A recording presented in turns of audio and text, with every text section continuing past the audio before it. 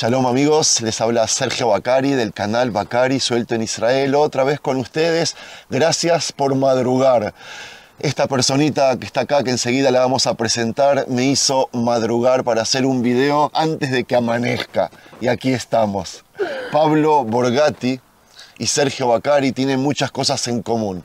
Ambos nacieron el mismo mes y el mismo año. Este mes en enero, hace 57 años, ¿no? Exacto. En Argentina.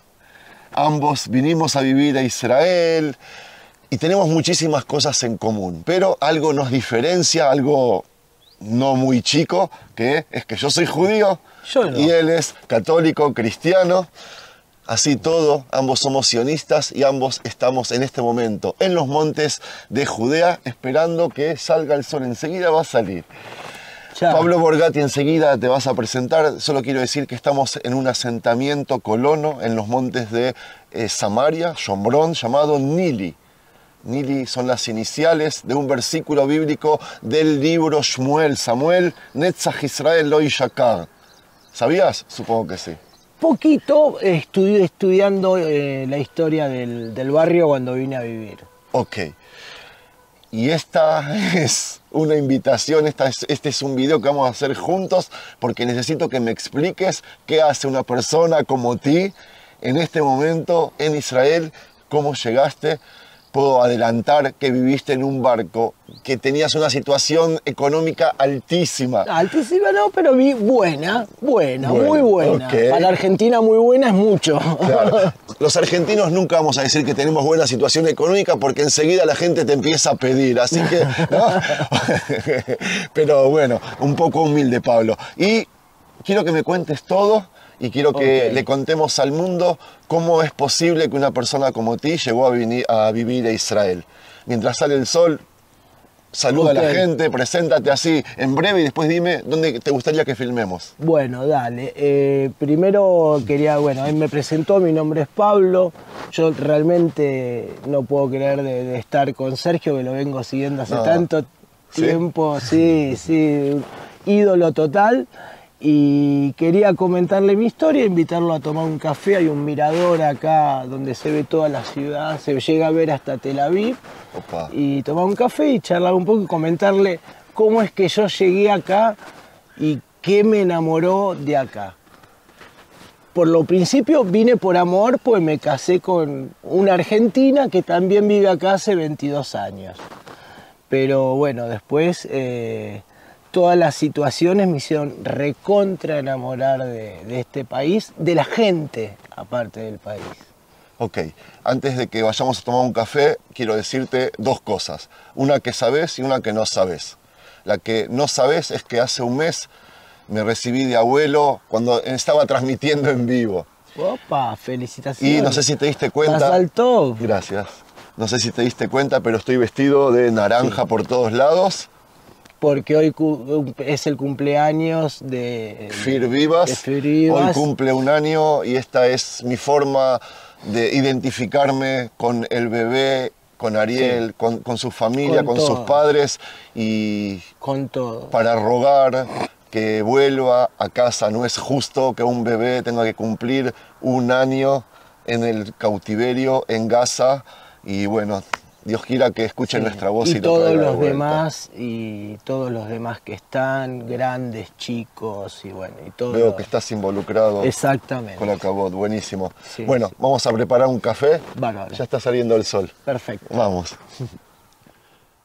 Pablito, qué paisaje. ¿Así te levantás todos los días? todos los días ¿Por qué aquí? Esa es la- de la ventana de mi casa eh, es la vista que, que, que tenemos ¿Por qué no fuiste a Tel Aviv a vivir? Porque no soy de las ciudades. De hecho, bueno, en, en Argentina eh, vivía en San Isidro eh, en un barco. No vivía en un. ¿Es verdad que vivías en un barco? Sí. ¿Qué significa vivir en un barco? Uf. Mucho, sobre todo pasar la pandemia en un barco, encerrado. O sea que si pasaste la pandemia en Argentina, hace poco que estás en Israel. Dos años hizo el 23 de noviembre. Fui el segundo avión que habilitaron a entrar eh, después de la pandemia.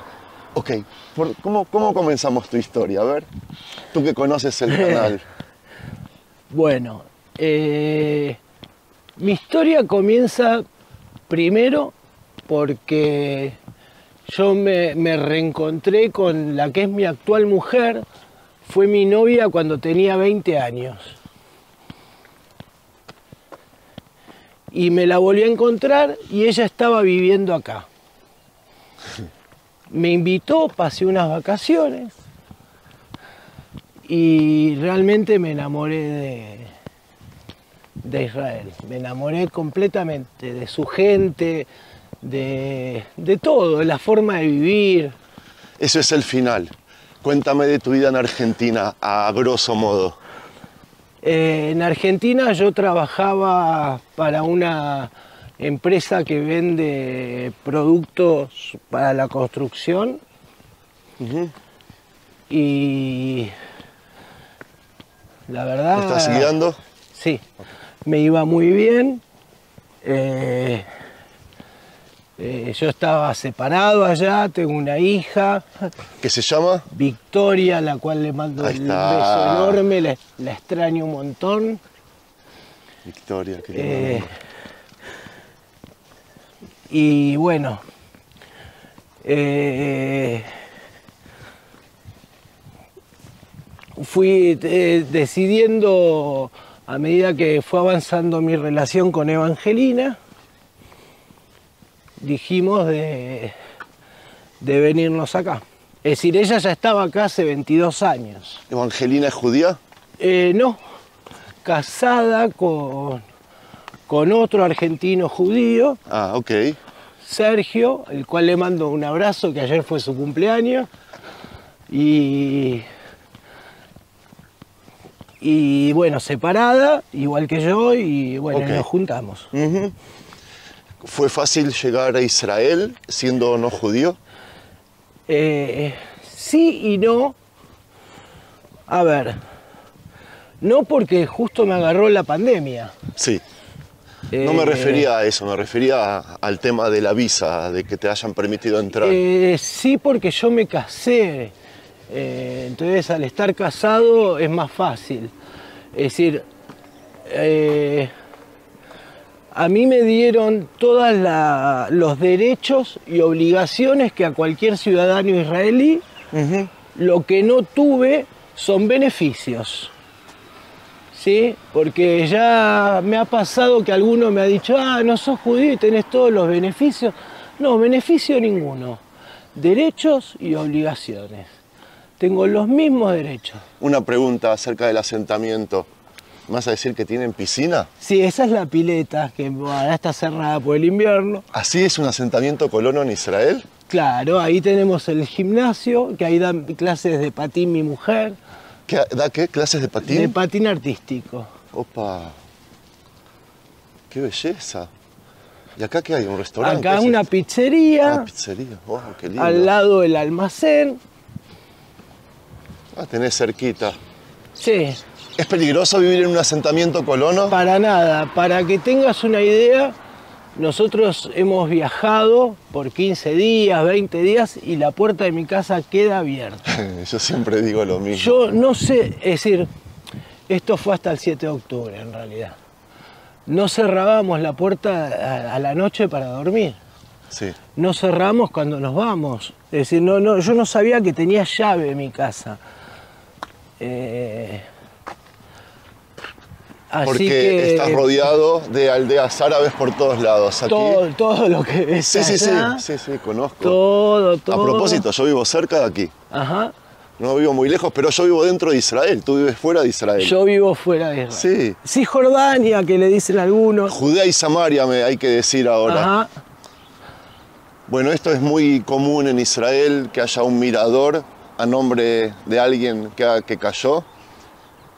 Qué hermoso que hicieron esto. Sí, Mira, y esto tenemos buena visibilidad. Mira qué hermoso. Ok, te escucho. Entonces, tú, estando en Argentina, Sí. ¿qué pensabas de Israel? Y al principio no sabía nada, nada, no tenía ni idea. solamente eh, los temas así cuando había algún conflicto o algo. Y como yo soy una persona, podemos decir de izquierda, lo que pasa es que la izquierda y la derecha hoy en día hay unas confusiones muy grandes. Eh, a veces pensaba eh, que por ahí eran injustos eh, o algo, es decir, yo hasta podía decir, Pablo, no te disculpes, dime la verdad. Todo el mundo está en contra nuestro. no, no, no, no, no en contra, no en contra. Pero no a sino- favor. Sino que decía que por ahí era- había algún tipo de, de exceso o algo así. Y al vivir acá me, me cambió la cabeza completamente. Y no estoy hablando eh, desde el 7 de octubre, estoy hablando desde antes. Sí. Ya me cambió. ¿Por qué? Pues empecé a compartir con, con árabes, eh, empecé a ver cómo se hacen las calles, cómo le dan la luz, cómo le dan el agua, cómo los dejan venir a trabajar. Eh, y la verdad, vi los felices que están ah, muchos de ellos por trabajar y, y por otro lado, bueno, gente que realmente no, no quiere no quiere la paz. Esa- eso es lamentable, ¿no? Sí. Decime una cosa, ¿cómo te trata la sociedad israelí al saber que no eres judío? Lo que más me hizo enamorar es la gente. La gente, un trato. Yo al principio tenía miedo porque no conozco el idioma, recién lo estoy empezando a aprender. Es, muy, es difícil el hebreo, ¿Cómo lo zafaca ya. Eh, eh, hice el primer año, fui al Ulpam, eh, el cual me lo tuve que pagar, cosa que, por ejemplo, Yo lo recibo gratis. Claro, Sí. cuando me decían recibe los beneficios, no, pues beneficio no tuve ninguno. Eh, fui al Ulpam, ahí tuve una base y bueno, donde más estoy aprendiendo es estando eh, en el trabajo. ¿De qué trabajas, Pablo? ¿Por qué te ríes? Me río porque trabajo eh, en un supermercado, eh, como digo yo, de encargado del supermercado, encargado de limpiar, de barrer, de acomodar las mercaderías, es decir, de repositor. Eh, pero lo, lo divertido de esto, que trabajo en Modín Elite, No. que para los que no saben, Modín Elite es Ahí. un allá. Es una ciudad eh, ortodoxa, donde son todos ortodoxos. 99.9%, Sí, eh, hice videos el ahí. súper donde trabajo es más chiquito, pero como el que vos filmaste el otro día. A ver si me filmo yo también un poquito. Ah, dijimos que vamos a tomar café ahora. Sí. Hacemos una pausa y nos preparamos un café. Dale. Pero cuéntame, cuéntame nada más de Modin Ilit. Modin Ilit es también un asentamiento colono, amigos, les cuento, el más grande de todos y ortodoxo por completo. Y este asentamiento que es vecino es eh, Giloni, es eh, secular, ¿verdad? Sí, sí. Es lo que tengo entendido, sí, sí, esto no es ortodoxo, tampoco... ¿Acá? Sí. No, no, es lo no, que estoy no, diciendo. acá no, no, no, no, no, no, pensé en Los Modín Elite. contrastes que tiene... Claro, Modín Elite no, Modín Elite de hecho cierra eh, los viernes 3, 3 y media de la tarde, cierra y no se puede andar en auto. Si quedaste ahí, volvete caminando. pues. Ok, porque vivir en un asentamiento así, hay guardias en la entrada, hay cercos por todos lados, bueno, acá no se ve porque no estamos en la frontera, y hay custodia constantemente. ¿Nidi está abierto el sábado? Sí, Nili está abierto, eh, todas las actividades, es un- los Bueno, chicos andan con café. los monopatines, hay gente que cuida el Shabbat, sí, obvio, pero el que no, no. Preparamos el café ahí, Dale. que una mesita. Vamos a sentar. Bueno, Pablo, ¿hay café? Hay café recién hechito, Yajor, ¿no? ¿Qué significa Yajor? Eh, negro, café, negro, café- es café. Antes, antes de la guerra le decíamos café turco, Café ahora de los turcos nada, ahora le decimos café israelí. Ok, ¿lo sirvo yo? Dale. Bueno, me estabas contando del trabajo. Sí, eh, trabajo es eh, que trabajas con árabes, que con, eh, no, también con árabes, Pero en un lugar de Claro, ortodoxos yo trabajo judíos. en, en Modinilit, que es una ciudad eh, ortodoxa. eh, Lejaim. Buen día. Lejaim. Eh, que realmente ahí están todo muy uno yo voy en moto y me miran como si fuera de otro mundo no ¿Vas en moto? sí voy Guay. en moto Sí, te escucho. y bueno eh, la verdad yo al principio tenía medio ese resquemor porque cada vez que yo voy al médico en Modinilit y, y cada vez que voy veo que me miran raro. Y esta vez no, en el trabajo la verdad he recibido en general por la mayoría de, de, de los datim, de la, de, de la gente de, ahí, ¿Todos datim trabajan ahí, todos Todo- religiosos? no, trabajan árabes también, árabes Ah. israelíes. Ok. Y lo divertido eh, es que, por ejemplo, la- la- las cajeras que son árabes eh, se ponen a jugar a veces con los cajeros de la tarde que son eh, religiosos, ortodoxos.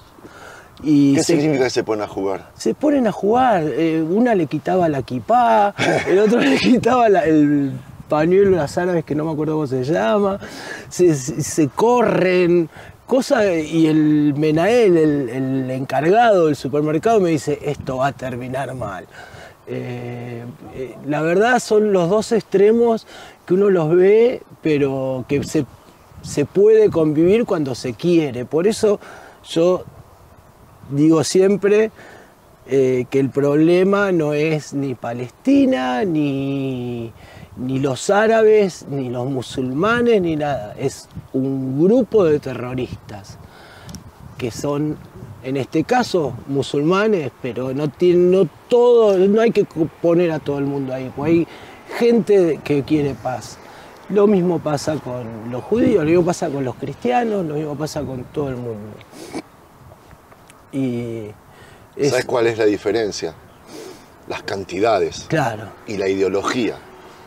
y que te agarren desde muy chiquitito y te, y te metan odio en la cabeza desde chiquitito.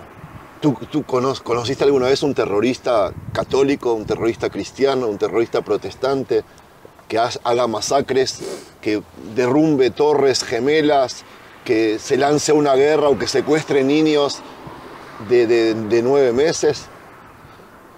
O sea, hay, hay diferencia. Sí. Es verdad que judíos también hay malos, que cristianos también hay malos, pero malos con límites. o sea, que te roban, Sí, el que te genocidio mienten, que- no fue hecho por musulmanes.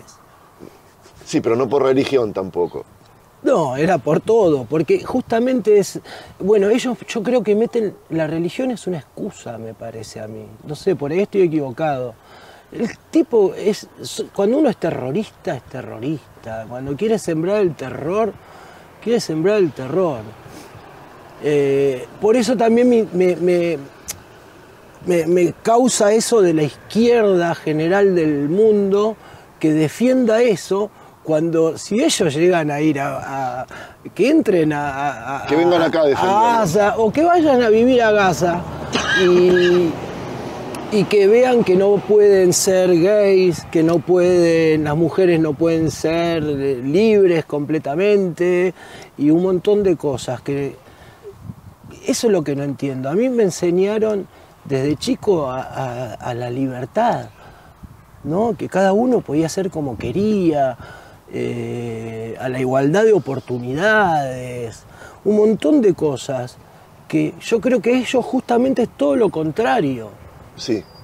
¿no? Y, y fueron una de las cosas que a mí el 7 de octubre me, Conmovieron. me conmovieron y me, me- me- me- yo dije, eh, no, el terror no me va a ganar a mí, no me va a ganar. Eh, Yo por eso seguí yendo a trabajar. eh, para ir a trabajar, antes te comentaba, trabajaba en Petastigba, tenía que pasar muchos barrios árabes, todo sector A, eh, y me metí entre medio de autos palestinos para evitar de que me tiren piedras porque yo tenía patente israelí. Sí.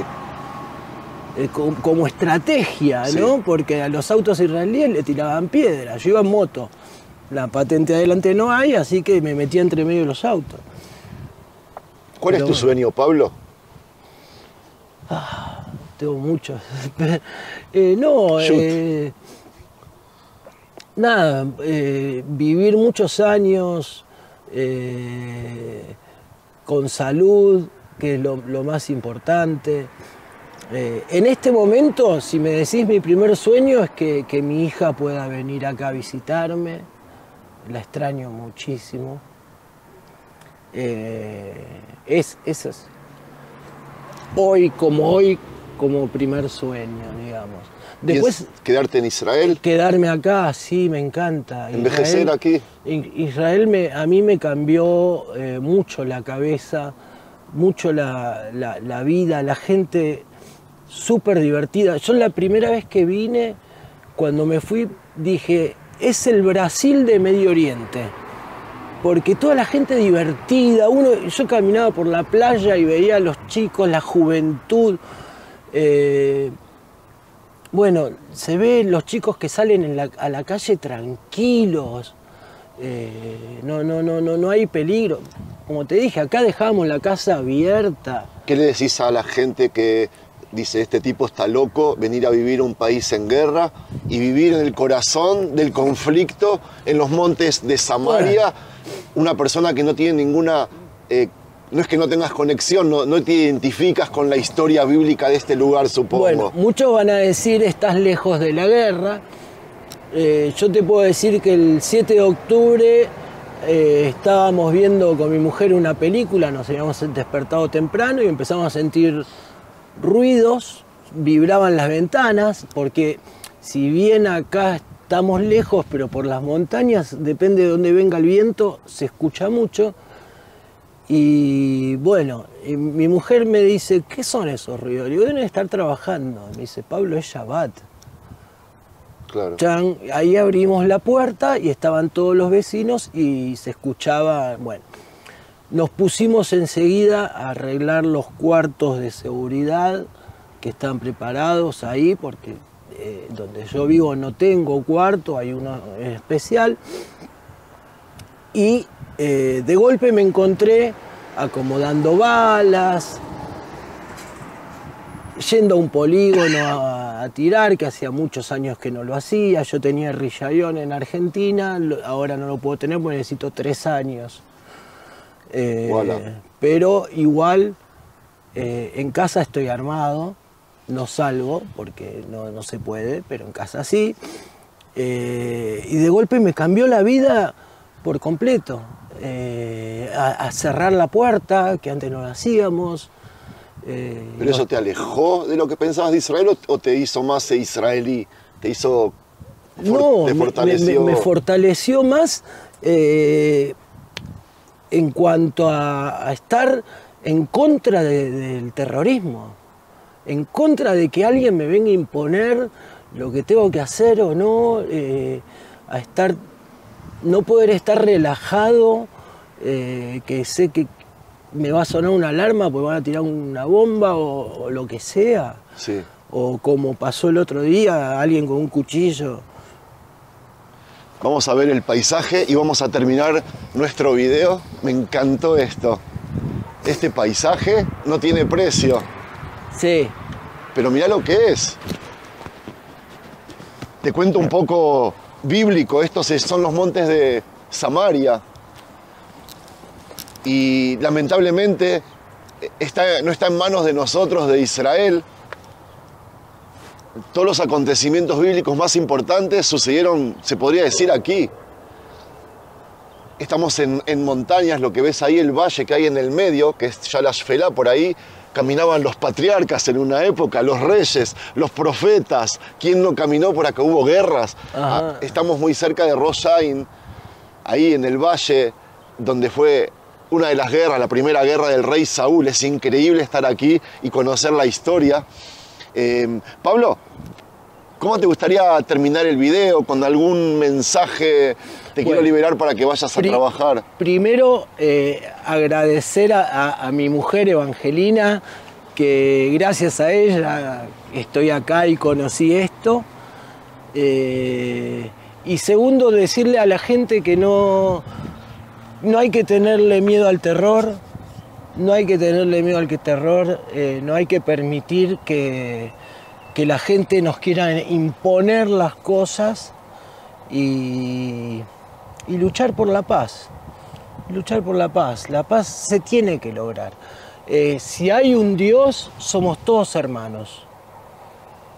Y si no lo hay, somos todos seres humanos. Entonces todos tenemos que, que vivir y dejar vivir al otro. Tú que vienes de Argentina, el dicho que se dice aquí, que se necesitan dos para el tango. Ajá. Vos querés, podrías querer mucha paz, podés desear mucha paz, pero necesitas un partner, necesitas una pareja con quien hacer paz. Exacto. La pregunta es si nuestros vecinos que están acá, todo este alrededor son aldeas árabes, lo que se ve al fondo se ve al mar Mediterráneo. Ahí tenés una mezquita. Sí, sí, la vi, acá está el muazzin, ahí está la mezquita, sí, sí. O sea, se ve el Mediterráneo desde acá, es increíble. Desde acá se ve, allá está el Mediterráneo, allá hay unos atardeceres, wow. Para el próximo video. Dale. Pablo. Y si la gente quiere hacer preguntas, que te las haga. ¿A mí? A vos, para mí. ok, las vas a responder en los comentarios. Por supuesto. De todas maneras, eh, vamos a contarle a la gente que esta iniciativa nació cuando yo la otra vez dije en un video que quien quiera contar su historia en este espacio yo se lo voy a brindar. Exactamente. ¿Cómo fue técnicamente? Me escribiste, te respondí y aquí estamos. Al otro día, yo dije, me vas a responder dos meses. No, no, al otro día de la mañana me respondiste.